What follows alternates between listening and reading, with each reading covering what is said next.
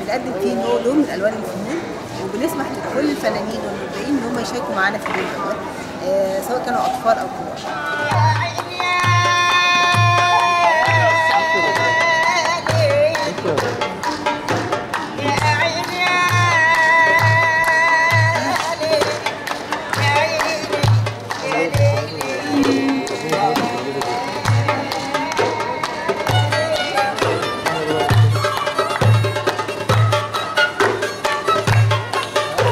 أحمد عبد العال معزوز فني في قسم الاركيت مركز الحرف بالفسطاط الأطفال بيبقوا زي عطشانين اللي يشوفوا الشغل بتاعنا ده لأن هو في تابلت وتليفونات لما يشوفوا حاجات يدوي وحاجات مش مشهورة أو بيشوفوها ممكن في التلفزيون يبتدي هو يجربها ويمسك الخامة بإيده ويبتدي يجربها. دي بتبقى بالنسبة لهم متعة عن التكنولوجيا اللي إحنا فيها دلوقتي.